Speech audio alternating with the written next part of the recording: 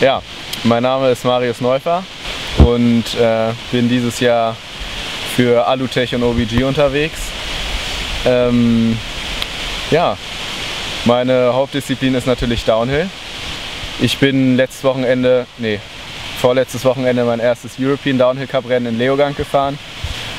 Hab dort im Seeding Run ganz gut abgeschnitten, konnte in die Top 80 fahren ähm, Im Rennlauf hat es leider nicht ganz geklappt, so wie ich mir das vorgestellt habe. Deswegen äh, habe ich dort knapp die Top 100 verpasst.